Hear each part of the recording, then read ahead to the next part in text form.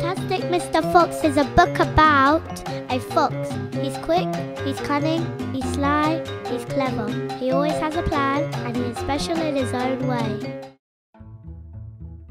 Boggis and Bunce and Bean, one fat, one short, one lean. These horrible quirks, so different in looks, were nonetheless equal in mean. We'll get you, farmers want lots of money. They're mean, they're ugly, they don't like the foxes, and they think they're the best.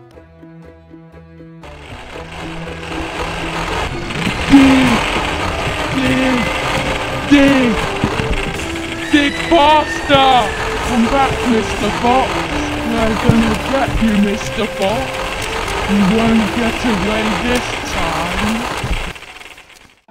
Mrs. Fox is very beautiful. The three little foxes are always asking questions, and she is scared of the diggers.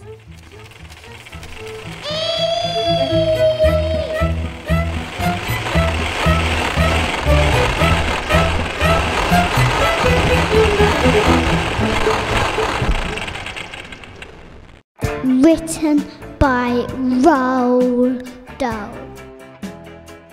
Illustrated by Quentin Blake. Published by Puffin Books.